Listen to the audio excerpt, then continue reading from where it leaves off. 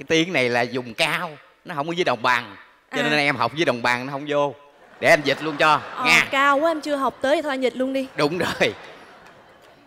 Cưa thình là kính thưa cao quỵ là quý vị xây đao là sau đây dách là một chàng là chàng tài pháo là pháo tay bị cho là cho sông giái hành. Khoan khoan khoan cái gì mà giái giái giái hành không giái tiếng gì? tàu anh anh có phải độn dấu sắc dấu quyền vô nó giống mới giống tiếng tàu. Sông là một cặp Ừ. giai hành là danh hài. Ừ. Son dành sơn dân sơn dân là dân sơn bùng chảo là bảo trung đó.